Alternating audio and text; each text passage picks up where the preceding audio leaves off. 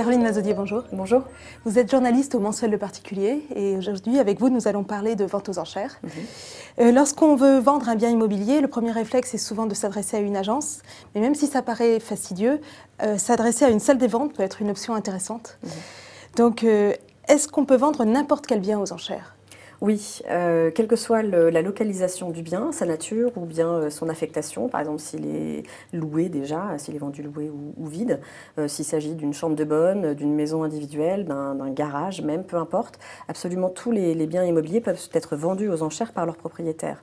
En fait, ça intéresse aussi particulièrement les biens rares ou les biens atypiques pour lesquels il n'existe pas réellement de marché, parce que l'intérêt de la vente immobilière, c'est que le notaire va organiser une large publicité autour de cette vente et que donc dans la salle, il y aura une, audi- une audience assez large, assez diversifiée, euh, qui va réunir autant les professionnels que les particuliers. Et parmi eux, vous avez quand même euh, beaucoup de chances de trouver un connaisseur qui sera intéressé, si votre bien est atypique. Et est-ce que c'est intéressant? Est-ce qu'on risque pas de se retrouver finalement avec un prix bradé? Euh, alors en principe, euh, euh, non, parce que bon, pour, pour qu'une vente soit, soit, aux enchères soit, soit réussie, le prix doit être attractif. Donc c'est vrai, on applique une décote sur le- l'estimation du, bien. Cette décote, elle peut être de 10%, elle peut aller jusqu'à 35% en fonction de la stratégie que, que vous voulez adopter, mais ça ne signifie absolument pas que la vente se fait au rabais. Voilà, ce ne Euh, sera pas le prix de vente finalement. Non, ça ne sera pas le prix de vente. Les enchères, en principe, devraient, devraient monter un peu et le prix qui va résulter de ces enchères, en général, se situe au niveau du marché. Voilà, enfin, en fait, euh, ce qui est intéressant dans, la vente immobilière, il faut bien voir que c'est euh, surtout le fait que le vendeur ne bénéficie pas du délai de rétractation de 7 jours.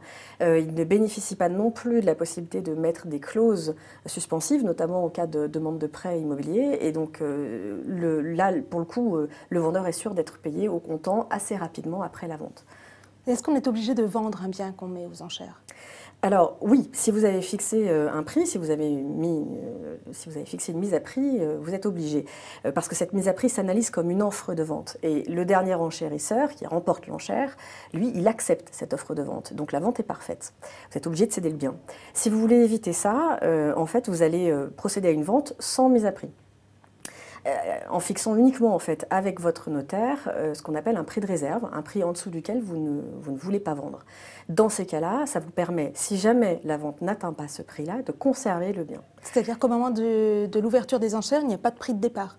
Non, il n'y a pas de prix de départ. Euh, le- les enchères vont être lancées par le premier enchérisseur qui va fixer un prix, et puis ça va monter ou pas. Et puis le notaire va regarder si ça correspond, si le prix de réserve est atteint euh, ou s'il n'est pas atteint. S'il n'est pas atteint, la vente n'est pas faite. Vous pouvez repartir avec votre bien.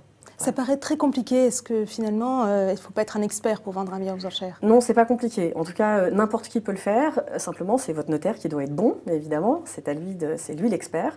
Mais il doit, il, devra vous assister en fait de bout en bout de la procédure. C'est lui surtout qui va procéder aux actes. Il va faire euh, les formalités nécessaires, qui sont des formalités habituelles. Et il va rédiger avec vous un cahier des charges. C'est un document extrêmement important puisque euh, c'est ce document que le- les acquéreurs, les potentiels acquéreurs vont pouvoir consulter trois semaines avant la vente et c'est ce document qui fera office d'acte de vente par la suite. Donc c'est une vente immobilière classique pour un notaire? Oui, aucun problème. Merci Caroline. Je vous en prie.